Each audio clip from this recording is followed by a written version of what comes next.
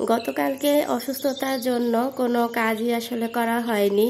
আর কিচেনের অবস্থা সকালবেলা দেখতেই পাচ্ছেন। আসলে সকালবেলা এরকম একটা কিচেন দেখলে আমার মনে হয় যে কোনো মানুষেরই মাথা খারাপ হয়ে যাবে। আসসালামু আলাইকুম ভিউয়ার্স, আমি সুমাইয়া হাসান। আপনাদের সবাইকে স্বাগত জানাচ্ছি নতুন আরেকটি দিনের আরেকটি ভিডিও দেখার জন্য। আশা করছি যে যেখান থেকে আমার আজকের ভিডিওটি দেখছেন সবাই আল্লাহ রহমতে ভালো আছেন, সুস্থ আছেন। আমরাও আলহামদুলিল্লাহ আল্লাহ রহমতে বেশ ভালো আছি। তবে আমার কণ্ঠ শুনেই নিশ্চয়ই বুঝতে পারছেন যে আমার ঠান্ডার পরিমাণ অনেক বেড়ে গেছে। আসলে প্রচুর পরিমাণে ঠান্ডা লেগেছে, সেই সাথে গলাটাও বসে গেছে। এ কারণে গতকাল আসলে কোনো কাজই করা হয়নি, শরীরটা খুব বেশি খারাপ ছিল। তাই সকালবেলা দেখতেই পেয়েছেন, আমি সব কিছু ক্লিন করে নিলাম। আর গতকাল আপনাদের ভাইয়া বাইরে থেকে বিরিয়ানি নিয়ে এসেছিল। তো যেহেতু আমার শরীরটা ভালো ছিল না, খেতেও খুব একটা ভালো লাগছিল না, তো অল্প কিছুটা খেয়েছিলাম আর কিছুটা রয়ে গিয়েছিল। তো সেইটাই সকালবেলা গরম করে নিচ্ছি, আর এইটা দিয়ে আজকে সকালের নাস্তাটা করে নিব। আজকে আপনাদের সঙ্গে ইচ্ছা থাকলেও খুব বড় ভিডিও শেয়ার করতে পারিনি। যেহেতু আমার শরীরটা ভালো না, আর ভয়েস দিতেও খুব বেশি কষ্ট হচ্ছিল। এ কারণেই আমি ইচ্ছাকৃতভাবে একটা ছোট্ট ভিডিও শেয়ার করছি। আশা করছি ভিডিওটি জুড়ে থাকলে আপনাদের কাছে বেশ ভালো লাগবে। তো সকালবেলা আমি এই নাস্তাটা করে নিয়েছিলাম আর তারপরেই কিছু গাছ লাগাতে চলে এসেছি। অনেক দিন ধরেই আমার অনেকগুলো গাছ লাগানো দরকার ছিল সময় সুযোগ হয়ে উঠছিল না। তো আজকে ভাবলাম যে সকাল সকাল সবগুলো গাছ লাগিয়ে নিব। তো এখানে গাছ লাগানোর জন্য শুরুতেই দেখতে পাচ্ছেন, আমি বেশ অনেকগুলো ডিমের খোসা জমিয়েছি। এগুলো ভালো করে রোদে শুকিয়ে আমি একটু ভেঙে নিয়েছিলাম। আর সেই সাথে অনেকগুলো চা পাতা রোদে শুকিয়ে নিয়েছি। চা পাতা আর ডিমের খোসাটা কিন্তু গাছের জন্য অনেক ভালো সার হিসেবে কাজ করে, এটা আমরা কম বেশি সবাই জানি। আর আমি কিন্তু আমার গাছে কখনোই কেনা সার ব্যবহার করি না। সব সময় ঘরে তৈরি করা সারগুলোই দিয়ে থাকি। আর এগুলো ব্যবহারেই আমার গাছগুলো কিন্তু মাসাল্লাহ অনেক ভালো আছে। তো এখানে আমার কাছে অল্প কিছুটা মাটি ছিল, যেহেতু মাটির পরিমাণ কম ছিল, তাই এখানে আমি বেশ কিছুটা কোকোপিট মিশিয়ে নিব। এমনিতেও আপনারা জানেন, গাছ লাগানোর সময় আমি সব সময় কোকোপিটটা ব্যবহার করি। কারণ কোকোপিটটা ব্যবহার করলে গাছে দেখা যায় একটু কম পানি দিলেও সমস্যা হয় না। কারণ কোকোপিট কিন্তু মাটিতে পানি ধরে রাখতে সাহায্য করে। তো আমরা যদি কখনো গাছে পানি দিতে ভুলেও যাই, দেখা যাবে যে গাছগুলো কিন্তু খুব ভালো থাকবে। যেহেতু কোকোপিটটা পানি শোষণ করে রাখে তো এখানে আমি দুই কেজির একটা প্যাকেট কিনেছিলাম। এটা তো দারাজ থেকে এনেছি, আপনারা দেখেছেন। তো সেখান থেকে প্রায় এক কেজি পরিমাণ দিয়ে দিয়েছি। আর যে পরিমাণ মাটি ছিল, তার সম পরিমাণ আমি কোকোপিট দিয়েছি। সেই সাথে চা পাতা আর ডিমের খোসা তো শুরুতেই দিয়েছি। সবগুলো আমি বেশ ভালো করে একটু মিশিয়ে নিচ্ছি। আর এখন নতুন যে টবগুলো কিনেছিলাম, সেগুলোতেই গাছ লাগাবো। তো এখানে আমি টপগুলোতে দুটো ছিদ্র করে নিয়েছি, আর এই ছিদ্রগুলোকে ঢাকার জন্য এখানে শপিং ব্যাগ ব্যবহার করেছি। এতে করে দেখা যাবে ছিদ্রটা দিয়ে মাটি পড়ে যাবে না, তবে পানি কিন্তু ইজিলি নিচে পড়ে যাবে।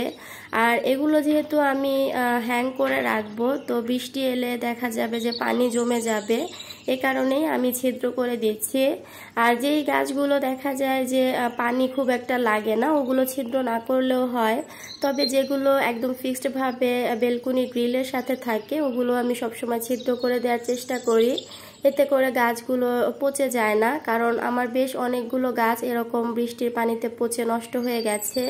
তারপর থেকে আমি চেষ্টা করি একটু ছিদ্র করে দিতে।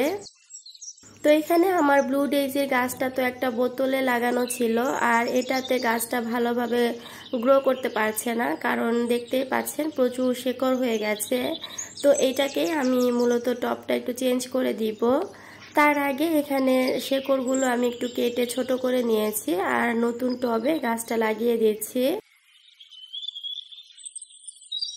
এখন যেহেতু শীতের শুরুর দিকে, তো এই সময়ের পরেই কিন্তু দেখা যাবে যে অনেক গাছ মরে যাবে। যে গাছগুলো আসলে গরমের সময় হয়, ওই গাছগুলো শীতের সময় একটু খারাপ অবস্থা হয়। তো সেগুলোকে দেখা যায় শীতের শুরুতেই যদি আমরা একটু যত্ন করে রাখি বা এরকম মাটিটা চেঞ্জ করে দেই, তো শীতের সময়ও কিন্তু এই গাছগুলো ভালো থাকবে আর নিয়মিত ফুলও দিবে। আমি সবসময় চেষ্টা করি শীত আসার আগে আমার গাছগুলোর একটু যত্ন করে নিতে। তো এবারও তার ব্যতিক্রম না, দেখতেই পাচ্ছেন এর আগে আমি কিছু গাছের মাটি পরিবর্তন করে দিয়েছিলাম। আর কিছু গাছ ছেটে দিয়েছিলাম। তো যে গাছগুলো ওই সময় করতে পারিনি, ওইগুলোই আজকে মূলত আমি করে নিয়েছি। শীতের আগে আগে এই গাছগুলো ভালো করে একটু লাগিয়ে দিচ্ছি, সেই সাথে বেলকুনিটাকেও একটু নতুন করে সাজাবো। তবে আজকে বেলকুনিটা পুরোপুরি সাজাতে পারিনি, শুধু এই টবগুলোতে গাছ লাগিয়ে আমি গ্রিলে হ্যাং করেছি। তবে সামনে ইনশাল্লাহ বেলকুনিটাকে একটু অন্যরকম করে সাজানোর ইচ্ছা আছে। তো কীভাবে সাজাই সেটা তো আমার সঙ্গে থাকলে আপনারা দেখতেই পাবেন। আর শীতের কিছু গাছ আনব, তো সেগুলো আনলে দেখা যাবে বেলকুনিটা সাজাতে বেশি ভালো লাগবে। আর এখানে আমার যে জেট প্ল্যান্টটা ছিল, এটা তো ছোট্ট একটা কাপে লাগানো ছিল, গাছটা ভালোভাবে গ্রো করতে পারছিল না, তাই বড় একটা টবে লাগিয়ে দিলাম। যারা ভিডিও শুরু থেকে এই পর্যন্ত আমার সঙ্গে আছেন, তাদের সবাইকে জানাচ্ছি অসংখ্য ধন্যবাদ। এই পর্যন্ত দেখার পর কোথাও কোনো অংশ যদি একটু ভালো লেগে যায়, তাহলে প্লিজ ভিডিওতে একটা লাইক দিয়ে দিবেন। আর আপনি যদি আজই প্রথম আমার ভিডিওটি দেখে থাকেন, আপনার কাছে ভিডিওটি ভালো লাগে, তাহলে রিকোয়েস্ট করব আমার চ্যানেলটিকে সাবস্ক্রাইব করে আমার সঙ্গেই থাকবেন। যারা অলরেডি আমার চ্যানেলটি সাবস্ক্রাইব করে দিয়েছেন, তাদের সবাইকে জানাচ্ছি অসংখ্য ধন্যবাদ। যারা এখনও করেননি, তাদের প্রতি আশা রাখছি ইনশাল্লাহ কোনো একদিন ভালো লেগে গেলে নিশ্চয়ই চ্যানেলটিকে সাবস্ক্রাইব করে দিবেন। তো আমার কিন্তু সবগুলো গাছ লাগানো হয়ে গেছে। আর এই যে দেখতে পাচ্ছেন, লাগানোর পর আমি পুরো বেলকুনিটা ক্লিনও করে নিয়েছি। আর এরই মধ্যে কিন্তু বেলকুনিতে প্রচুর রোদ চলে এসেছে। তো এখন আপনাদের সঙ্গে একটু শেয়ার করছি, বেলকুনিটা দেখতে ঠিক কেমন লাগছে। নতুন টপগুলো আমি এভাবেই হ্যাং করে দিয়েছি। তো এইভাবেই খুব সিম্পলভাবে আমি একটু সাজিয়েছি। আর আমি কিন্তু শুরুতেই বলেছি যে অনেক বেশি কিছু আজকে পরিবর্তন করিনি। তবে নতুন করে যখন সাজাবো তখন আশা করছি আপনাদের কাছে ভালো লাগবে।